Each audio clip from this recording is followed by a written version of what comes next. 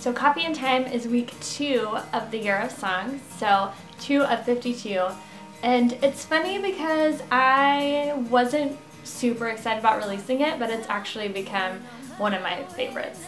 So Coffee and Time is about running into somebody that you don't really know like at all, like don't know anything about each other personally, but for some reason they know everything about how you should um, handle your life and your business.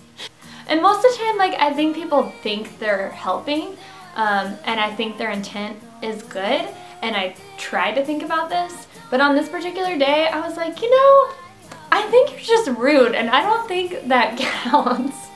so I wrote this song about that, feeling a little bit, um, a little bit sassy about a judgy person.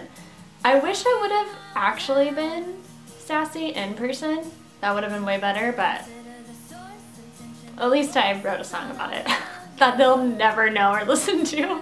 I also feel like with this song, I learned kind of a cool creative thing. So when we were recording this, we had just recorded Wolf, and I was like, yes, of Songs, I am so in. And then we started recording this one, and um, and just for a little backstory, throughout the year, I planned out the songs and dispersed my favorite ones throughout the month so it's not like all my favorites and then it goes downhill fast or something like that. So it's kind of um, my least favorites and my favorites all mixed in for each month. Wolf was my favorite for January, so we recorded it. I was so stoked. Year of Songs is gonna be great. I'm awesome. And then we started recording this song and I struggled. I really struggled because I just had the realization that like it's not going to be everything in the world that I want it to be, and every song that I release isn't going to be the most amazing song. Like, that's just not how it is. And the point of this year was me being vulnerable and seen, and I just have to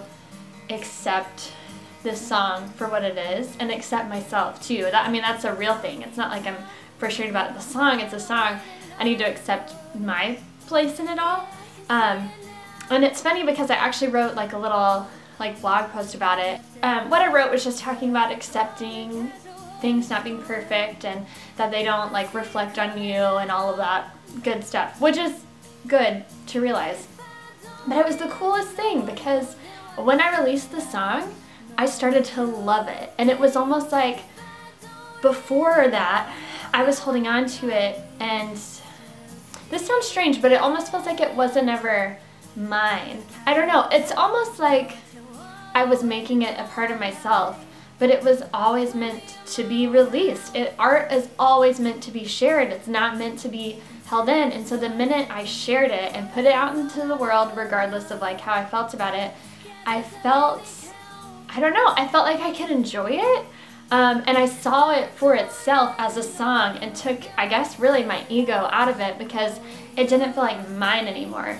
And that's kind of the interesting thing about sharing um, art is that it's, it's not yours anymore.